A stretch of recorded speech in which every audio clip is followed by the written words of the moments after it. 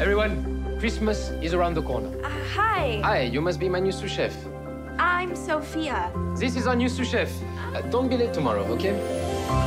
You spent the first day of your Christmas holiday working. How are you settling in? There's only one way to find out. This is amazing.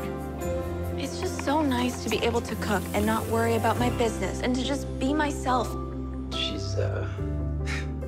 You like her? Hey, you know, tomorrow we both have the day off, no? So let's go skiing. So how's the sneaking around going? Whoa, shh. I'm actually in it pretty deep. Ansel is just one of the loveliest people I've ever known. And what about the chemistry? I mean, I feel it. I just don't know if he does.